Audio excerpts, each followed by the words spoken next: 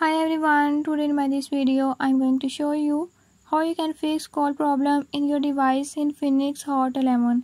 In this device Infinix Hot 11 if your incoming or outgoing call is not working by this method I'll show you how you can fix it. Before move to the video, if you are new to my channel don't forget to subscribe and press bell icon. Watch complete video and learn how you can fix it.